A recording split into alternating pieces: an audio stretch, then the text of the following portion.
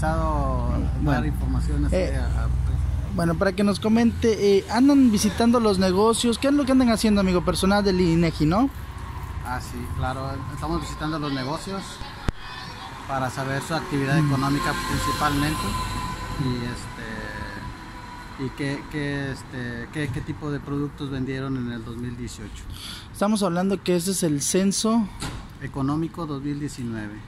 Perfecto, y este va dirigido para todos los comercios. Este va dirigido a todo tipo de comercio, empresas eh, pequeñas, medianas y un poquito grandes. No, no estamos hablando de maquiladoras, no estamos hablando de, de, este, de consorcios grandes. Estamos hablando que ustedes, ¿desde cuándo ya salieron a la calle a realizar este censo? Tenemos aproximadamente a principios de febrero, fue cuando comenzamos. Un- Ya prácticamente casi un mes ya en las calles.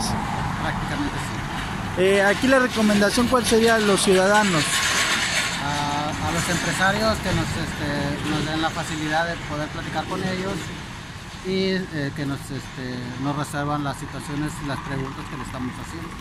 ¿Traen algún tipo de encuesta? ¿Es vía electrónica, en papel? ¿Cómo es esta encuesta del censo? Tenemos, este, básicamente tenemos un- un- una, una computadora con, con la cual hacemos la encuesta. Si el- la persona no tiene tiempo suficiente, la levantamos a papel, a papel y después nosotros la capturamos en computadora. Es un proceso que se da cuánto tiempo, amigo. Por medio de la computadora es que a veces los, eh, los este, mismos eh, dueños llegan personas a atender y se atrasan 5 o 10 minutos. Pero es un promedio de media hora a 45 minutos y en papel yo creo que nos llevamos unos 20 25 minutos. Perfecto. ¿Me regalas tu nombre? Carlos Sánchez. Perfecto, muy amable.